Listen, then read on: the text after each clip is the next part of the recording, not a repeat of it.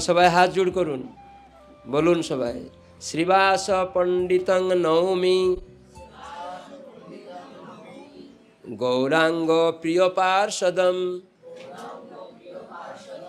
যস্য কৃপা লবেনাপি গৌরাঙ্গে জয়তে রতি। গৌরাঙ্গে জায়তে রতি। শ্রীবাস পণ্ডিতং নৌমি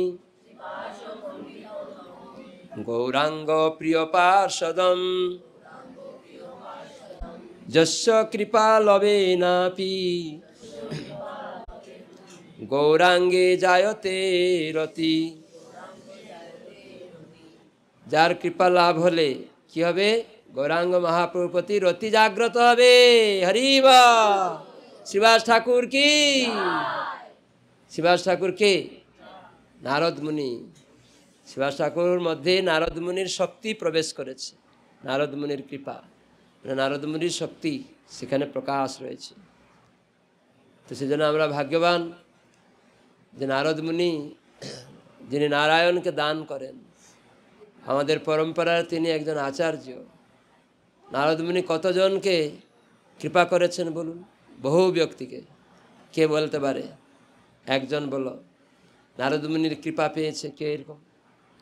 ছোট্ট বাচ্চা দুইজন ছিল, সেই দুইজনের নাম একজন বলো ধ্রুব মহারাজ ধ্রুব মহারাজ নারদ মুনির কৃপায়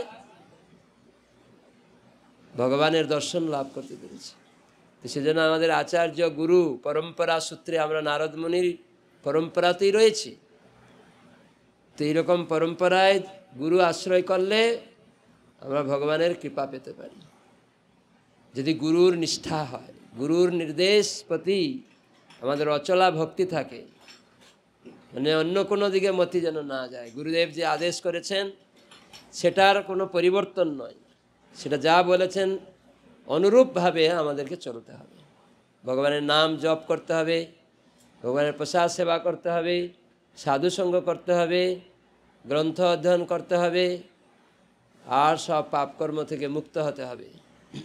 অবৈধ সঙ্গ, নেশা, দ্বিতক্রীড়া, আর কি?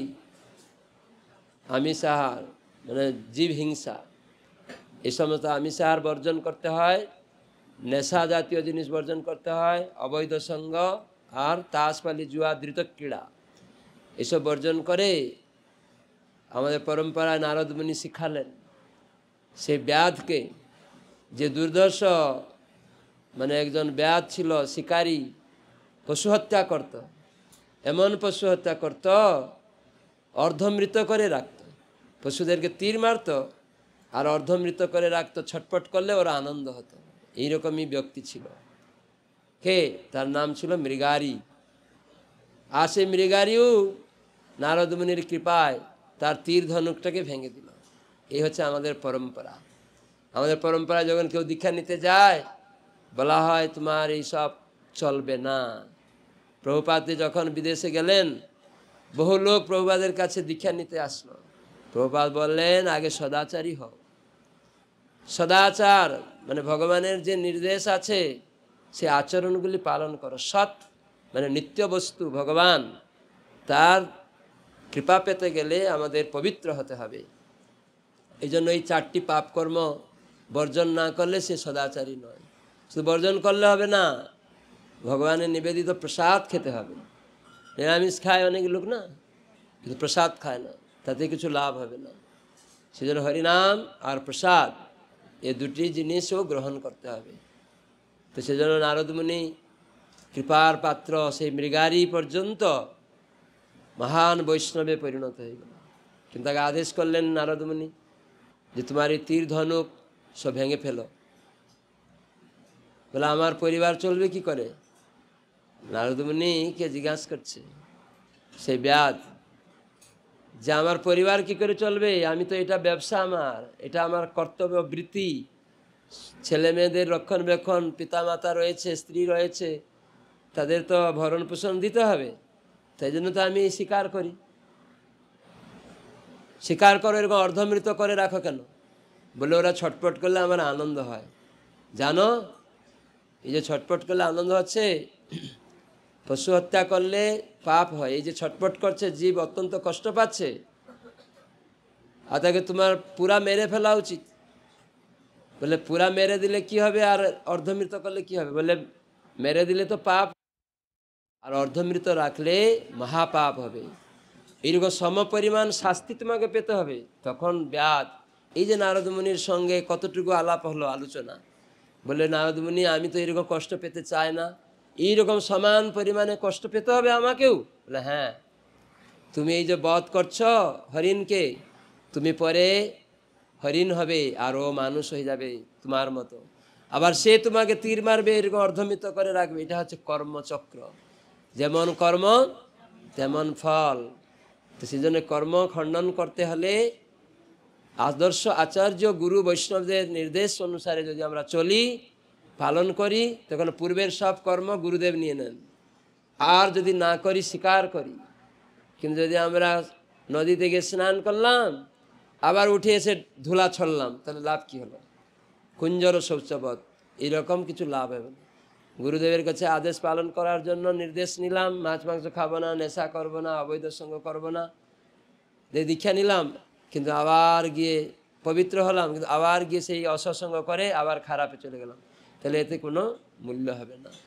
তো সেই জন্য নারদমণির কথা শুনে সেই ব্যাধ অত দুর্ধর্ষ ছিল পাপকর্ম করছ, করছিল, পশু হত্যা করে তাদের চামড়া, মাংস এইসব বিক্রি করে জীবিকা নির্বাহ করত। কিন্তু নারদমুনি নির্দেশ পালন করল যে তোমার খাবার অভাব হবে না, ভগবান প্রত্যেক জীব সৃষ্টি করেছেন। একটা হাতির একশো কেজি খাবার লাগে। কে দিয়ে আসে? ভগবান দেন। পিপিলিকার এক দানা চিনি লাগে, সেটাও ভগবান দেন। তুমি কি দিয়েছ? তোমার বাবা দিয়ে আসছে হাতির খাবার, পিপিলকার খাবার। আমরা ভাবছি, আমি জোগাড় করছি। বাবা, এই যদি বৃষ্টি না হবে, সূর্য উদয় না হবে, এই মাটি থাকবে না, জল থাকবে না তখন আপনি কি সৃষ্টি করবেন? করতে পারবেন? হ্যাঁ? কিছুই সৃষ্টি করতে পারবেন না। অন্ধকার তখন। কিছু দেখতেই পাবেন না কি কাজ করবেন। বলে আমি কাজকর্ম করব। কর্ম করে আমি পরিবার প্রতিপোষণ করব। আরে আপনি তো দেখতেই পাবেন না সূর্য উদয় না হলে। শাক সবজি যদি না হয়, বৃষ্টি না হয়, খেতে পারবেন না, যখন দুর্বল হয়ে যাবেন, পড়েই থাকবেন। অন্ধকার। কি কাজ করবেন? এই জ্ঞান নারদমুনি দিলেন। সেজন্য কর্ম অনুসারে, পূর্বের কর্ম অনুসারে সবাই সুখী এবং দুঃখী। তোমাকে দুঃখ চাইতে হয় না, যেমন দুঃখ পাও। নারদমণি ব্যাসদেবকে এই কথা বলছিলেন। যে দুঃখ চায় না জীব, কিন্তু তার জীবনে দুঃখ আসে কাল অনুসারে, পূর্বের কর্ম অনুসারে। ঠিক সেরকম সুখটাও চাইতে হবে না, পেয়ে যাবে আপনার থেকে। তো সেজন্য আপনারা ভাগ্যবান।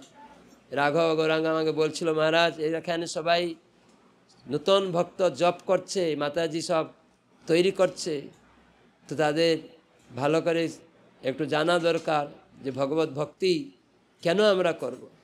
কেন না ভগবান হচ্ছেন আসল মালিক। এই যে মাটি, জল, আকাশ, আগুন, বায়ু, এই যে আমরা বসে আছি মাটিতে, এও ভগবানের। এই জ্ঞান অর্জন করতে হবে। এবং ভগবানের জিনিস ভগবানের সেবার জন্য। কেন আমরা এটি রয়েছি? না, তার সেবা করার জন্য। জমিটা তিনি দিয়েছেন চাষ করতে, তার সেবা করার জন্য। সেটা মানুষ জানে না।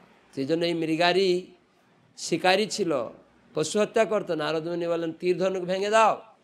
বলে, কী করে খাওয়া দাওয়া করব? মাংস না বিক্রি করলে? বলে, তোমার চিন্তা করতে হবে না। সব কর্ম অনুসারে পাওয়া যায়। তুমি কোনো দিন দুঃখ চাইছিলে? বলছে, না, তাহলে পেয়েছ। চাওনি পেয়েলে কেন? কর্ম অনুসারে। সুখটাও পাবে। এই জন্য তুমি জেনে শুনে মনুষ্য জীবনকে নষ্ট করো না, পশু হত্যা করো না। তোমার খাওয়া দাওয়ার দায়িত্ব আমার রইল। কিন্তু তীর ধনুক ভেঙে দাও। এই যে গুরুতে নিষ্ঠা, সঙ্গে সঙ্গে ভেঙে ফেলে দিল। এটাকে বলে নিষ্ঠা, আদর্শ শরণাগতি। এটাকে বলে কি? শরণা গুরুতে আত্মসমর্পণ। যখন আত্মসমর্পণ করবে, তখন ভগবানের কৃপা তার উপরে নেমে আসবে। তো সেজন্য গুরু আদর্শ, তিনি কৃষ্ণের সেবা শিখান। যে গুরু কৃষ্ণ সেবা শিখায় না। কালকে আমরা গিয়েছিলাম কল্যাণী। হরিনাম করুন। অনেক প্রশ্ন করছে। হাজার হাজার প্রশ্ন করেই যাচ্ছে কিন্তু আমি আপনার অত প্রশ্ন এইসব করতে হবে না। দেহতত্ত্ব জিজ্ঞাসা করছে। হ্যাঁ সব কুলকুণ্ডলিনী, এই সব কিছু। এই সব আপনি যোগ্য নন। দেহের অনিত্যতা আগে জানেন। আপনি এখন বুড়ো হয়ে গেছেন। রক্ষা করতে পারেন? কিছু করতে পারবে না। যারা এইসব দেহতত্ত্ব নিয়ে আলোচনা করে তারা দেহ থেকে মুক্ত হতে পেরেছে কোনোদিন? বৃদ্ধ, বার্ধক্য অবস্থা থেকে মুক্ত হয়েছে? মুক্ত হতে পারবে না। সাময়িক কিছু একটা রোগ থেকে হয়তো মুক্ত হবে, কিন্তু রোগ ব্যাধি মুক্ত হতে পারবে না। কিন্তু আমাদের ভগবত আরাধনা করাটাই মেন তাই কলিযুগে ভগবানের নাম, না, আমি গুরুমন্ত্র পেয়েছি। তবুও ভগবানের নাম করবে না। এই হচ্ছে দুর্ভাগা। সদ্গুরু সে ভগবানের নাম দিবে। বলে আমি গুরুমন্ত্র পেলেন কিন্তু ভগবানের নাম পাননি, সব নিষ্ফল। গুরুমন্ত্রের সঙ্গে যদি ভগবানের নাম না হয়, গীতা ভাগবত শ্রবণের সাথে যদি ভগবানের নাম কীর্তন না হয়, জপ না হয়, তাহলে পূজা অর্চনের সঙ্গে ভগবানের নাম জপ না হয়। আচার্যরা বলেন, যে নবদা ভক্তির সঙ্গে সঙ্গে হ্যাঁ তোমাকে নাম করতে হবে। ভগবানের নাম, সেই ভগবানের নাম কি? হরে কৃষ্ণা, হরে কৃষ্ণ। কৃষ্ণ কৃষ্ণ, হরে হরে।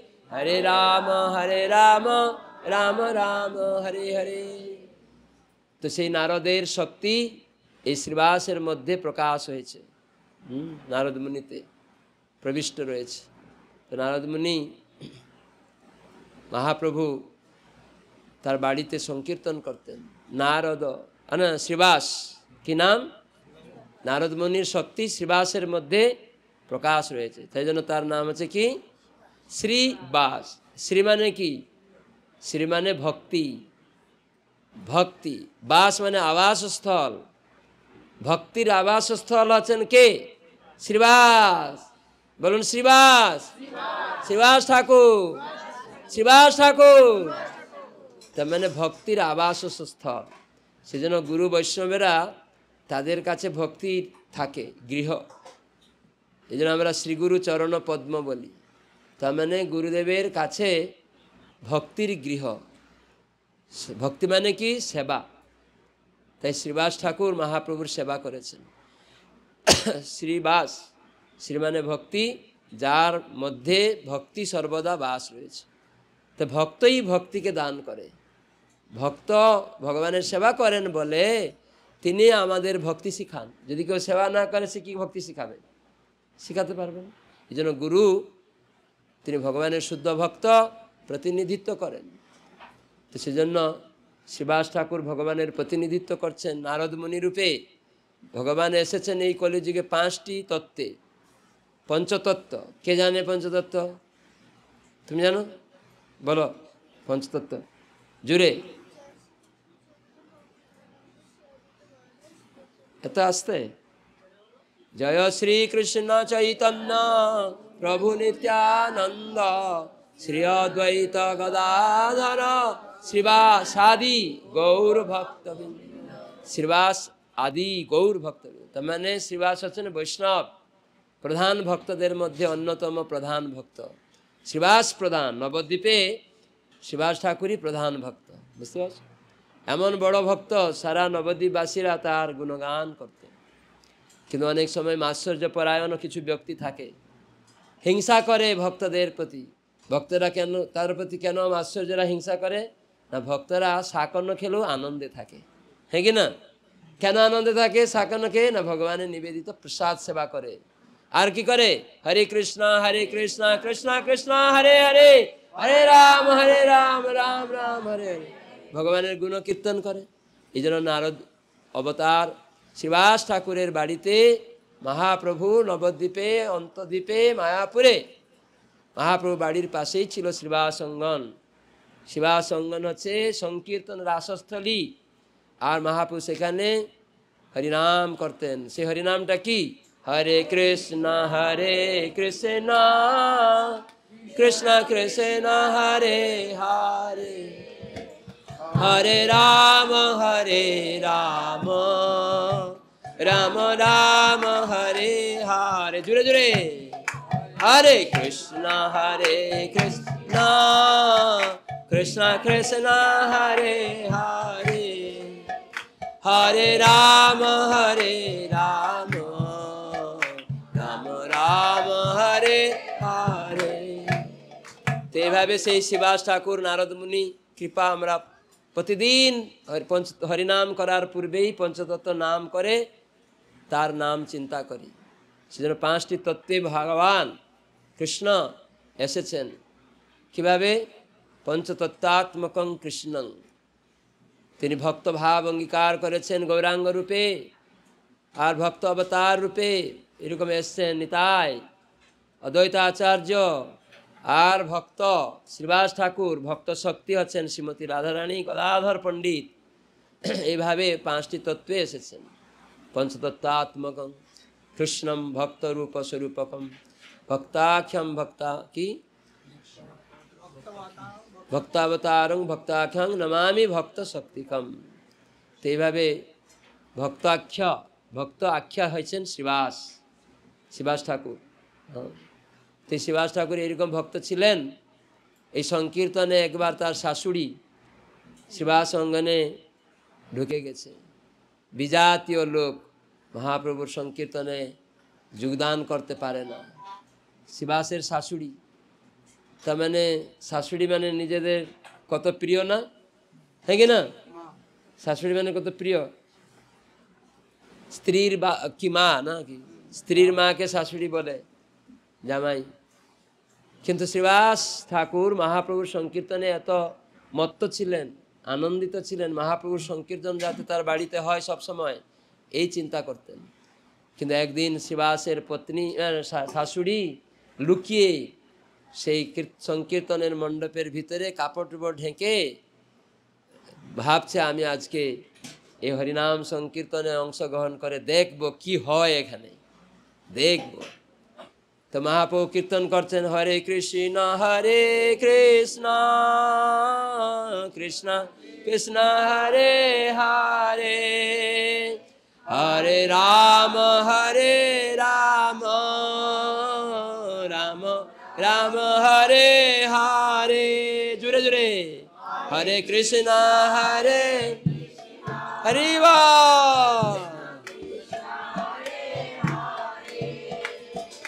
হরে রাম হরে রাম রাম রাম, হরে এই কীর্তন হচ্ছে মহাপ্রভু একটু পরে বলেন, শিবাস আর তোমার বাড়িতে কীর্তনে আমার আনন্দ হচ্ছে না। এই যে মহাপ্রভুর আনন্দ হচ্ছে না, তা শুনেই শিবাসের খুব কষ্ট। প্রেম মানে কি? ভগবানকে সুখ দেওয়া, নিজের সুখ নয়। সেটাকে বলে প্রেম। অনেক লোক প্রেম প্রেম করে। নিজের কিছু সুযোগ সুবিধা না পেলে কেটে পড়ে, তাই না? স্বামী যদি দুর্গা পূজায় ভালো শাড়িটা না দিল, তালাক তালাক করে দিল। যে শাড়ি দিবে তার কাছে যাব, তোমার কাছে নেই। ওটাকে প্রেম নয়। এটা কাম হয়ে গেল।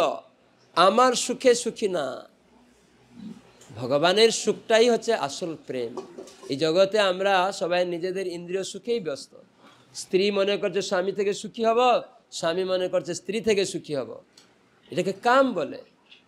কিন্তু ভক্ত তারা হবে, তারা সর্বদা কৃষ্ণকে সুখ দিবে, গুরু কৃষ্ণের সন্তুষ্টি বিধান করবে, তারা কিসে আনন্দ লাভ করবে। তাই মহাপ্রভু আনন্দ হচ্ছে না দেখে শ্রীবাস চন্নতন্ন করে দেখছে। মহাপ্রভু বলছেন, এখানে কোনো বিজাতীয় লোক ঢুকে পড়েছে তাই আমার কীর্তন আনন্দ। শ্রীবাস চারিদিকে তুলপাড় করে খুঁজছে, কে ঢুকলো এখানে? দেখছে কাপড় টুপড় ঢেঁকে শাশুড়ি রয়েছে, তার চুলের মুঠি ধরে গেটের বাইরে বের করে দিয়েছে। তাহলে মেয়েকে স্ত্রী ভালোবাসবে স্বামীকে?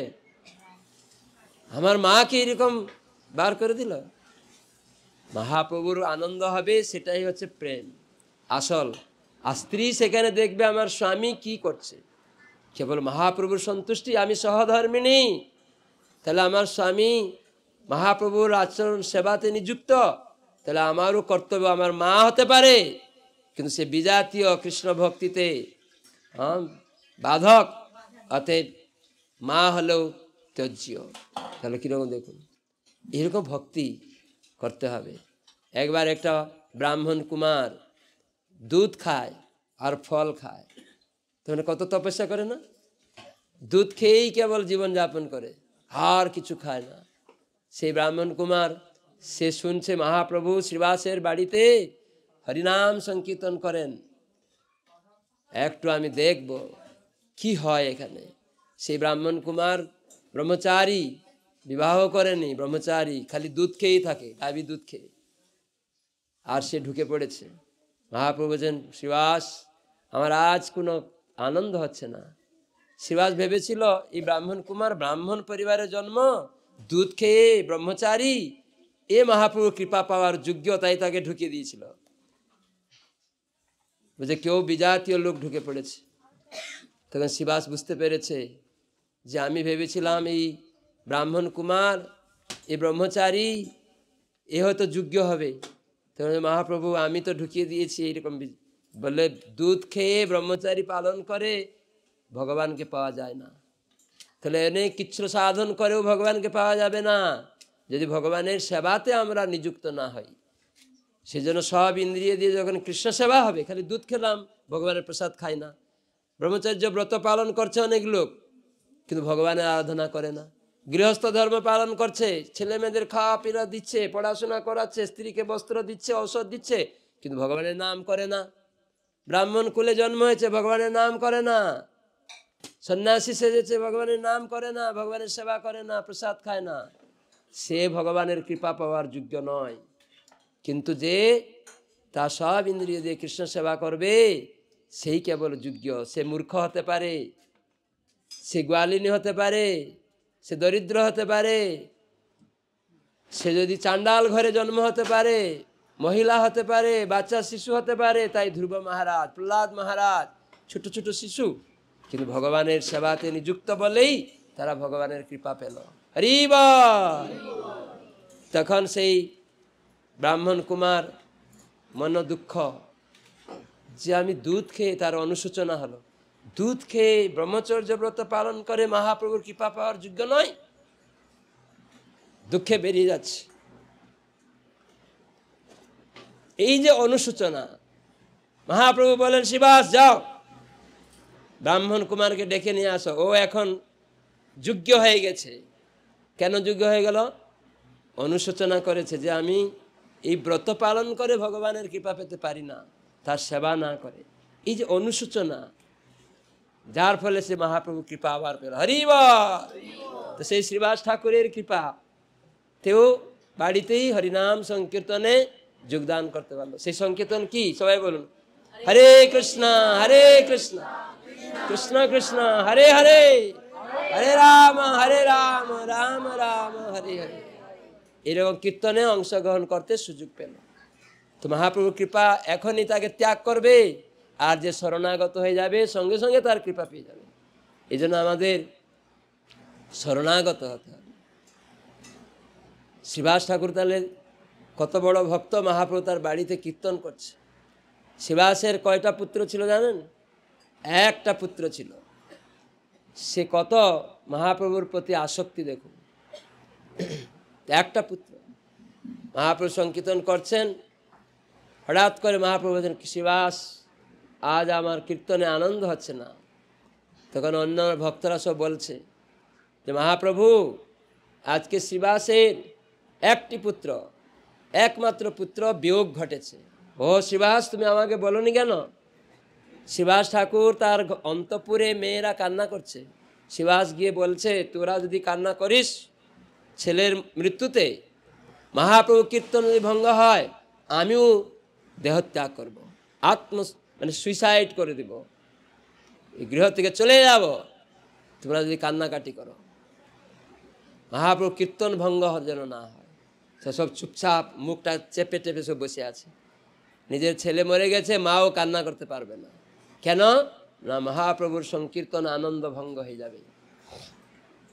তো এত। মহাপ্রভু পরীক্ষা করেন যে তুমি দেহাত্ম বুদ্ধি, স্ত্রীর প্রতি, শাশুড়ির প্রতি, পুত্রকন্যার প্রতি আসক্ত না আমার প্রতি আসক্ত?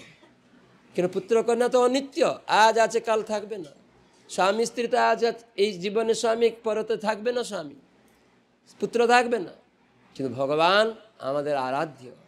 তার চরণে আত্মসমর্পণ করতে হবে। এইভাবেই শিবাস ঠাকুর তখন সঙ্গে সঙ্গে মহাপ্রভু বলেন শিবাস, তুমি কেন ইতিপূর্বে আমায় বলনি? মহাপ্রভু, আপনার কীর্তন রস ভঙ্গ হয়ে যাবে, তাই আমি বলিনি। চলো চলো চলো। ভিতরে চলো। তো অন্তপুরে গিয়ে সব ভক্ত কীর্তন করতে করতে ঢুকেছে। আর তখন মহাপ্রভু গিয়ে বললেন, আরে, তুমি তোমার পিতা শ্রীবাসকে ছেড়ে কেন চলে যাচ্ছ? মহাপ্রভু তো তার, স্বয়ং ভগবান উনি, তার ইচ্ছায় জীবের জন্ম, মরণ। তিনি ইচ্ছা করলে জীবের সৃষ্টি হবে আর দেহত্যাগ হবে, জন্ম, মরণ। তখন সঙ্গে সঙ্গে সেই পুত্র উঠে বসেছে। উঠে বসেই বলছে, মহাপ্রভু, আমার কত সৌভাগ্য।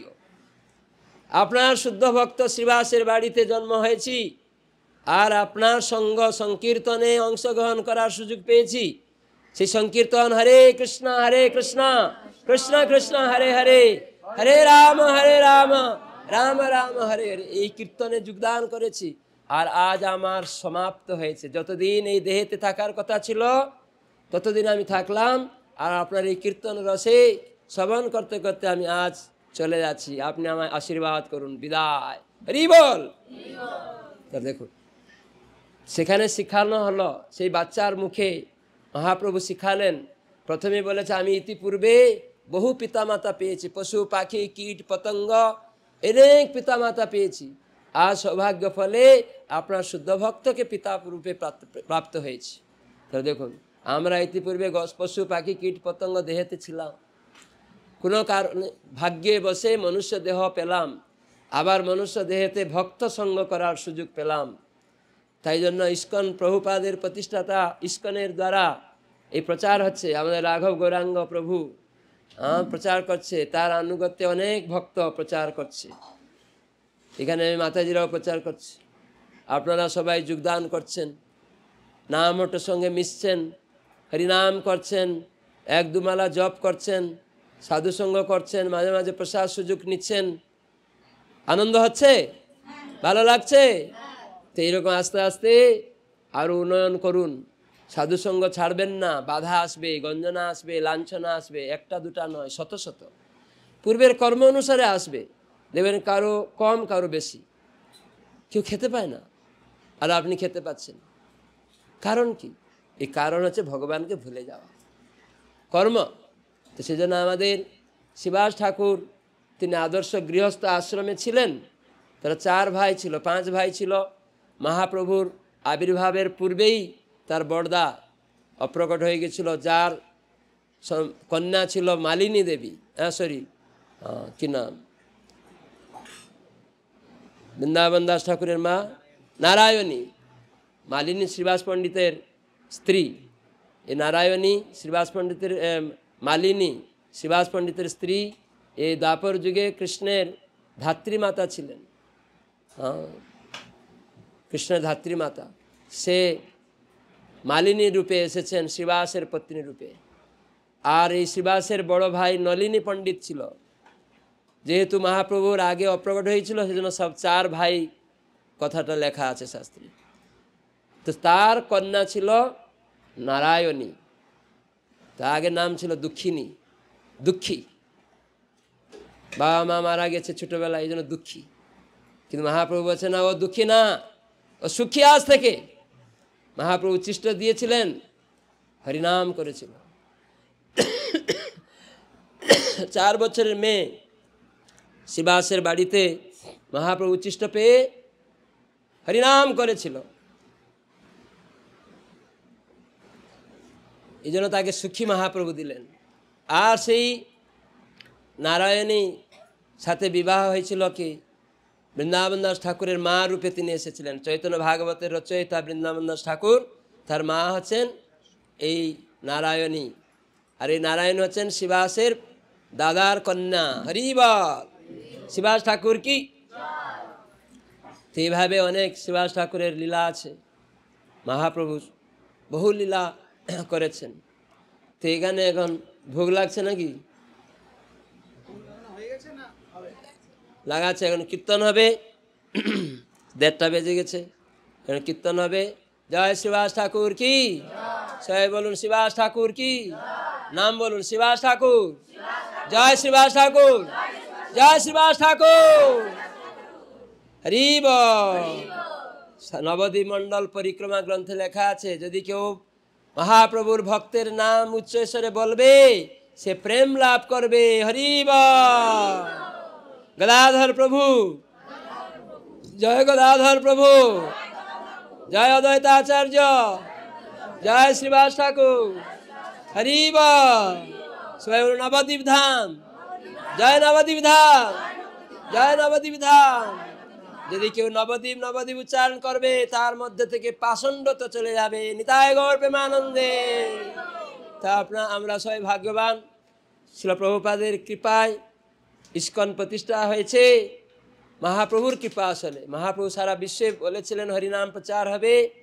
আর তার শুদ্ধ সেনাপতি ভক্ত আসবে। তো সেই ভগবানের শুদ্ধ সেনাপতি ভক্ত হচ্ছেন কে? ইস্কনের প্রতিষ্ঠাতা শ্রী শিল অভয়চরণ অরবিন্দ ভক্তি বেদান্ত স্বামী প্রভুপাদ জয় প্রভুপাদ জয় প্রভুপাদ জয় প্রভুপাদ জয় গৌর প্রেমানন্দে সবাই বলুন হরে কৃষ্ণ হরে কৃষ্ণ কৃষ্ণ কৃষ্ণ হরে হরে আরও জোরে হরে রাম হরে রাম রাম রাম হরে হরে নিতায় গৌর वंशाकल्पतरुभ्यश्च कृपा सिन्धु वैवच पतितानां पावनेभ्यो वैष्णवेभ्यो नमो नमः।